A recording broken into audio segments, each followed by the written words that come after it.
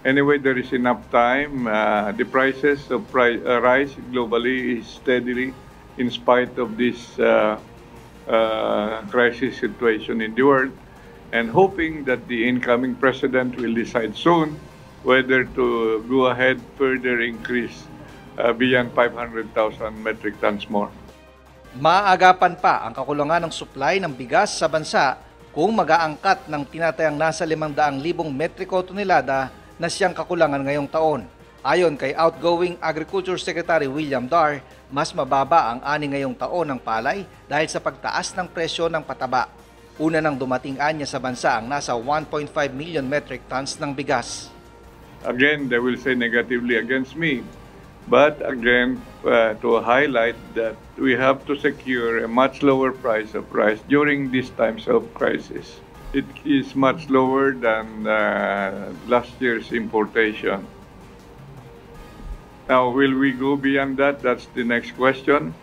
Ayon sa Department of Agriculture, kailangan ng nasa 15 bilyong pisong pondo para ipambili ng abono para sa mga magsasaka nang sa gayon ay maabot ang target na produksyon ngayong taon na aabot sa 20 million metric tons.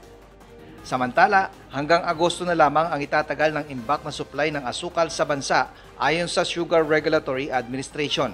Sa datos ng Department of Agriculture, mahigit pa sa 500,000 metriko tonelada ang kakulangan at nasa susunod na administrasyon na rin kung aangkatin ito.